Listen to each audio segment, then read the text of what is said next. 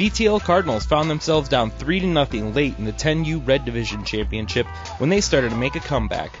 The runner rounds third, then slips and finds himself in a pickle.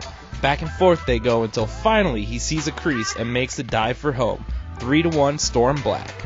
The deep shot down right field brings around two more runners, tying the game at 3 apiece. Then the right fielder misreads the ball, letting the Cardinals take the first lead of the game, 4 to 3, but they weren't quite done yet. The pass ball gives the Cards some more wiggle room up 5 to 3, but the Storm refused to throw in the towel. The first batter hits one deep and way out of the park, cutting the Cards' lead to 4 to 5. Then the Storm played some small ball with an infield single and steal, setting up the hit to put runners on the corners.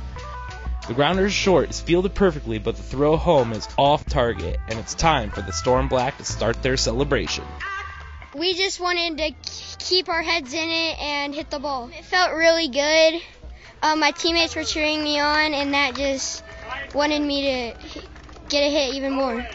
It's great, and we always just cheer each other on. It makes us have motivation to keep on moving and keep on hitting.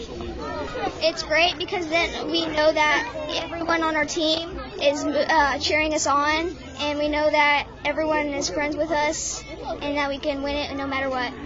There's a lot of teams in it, and um, we're the best one here.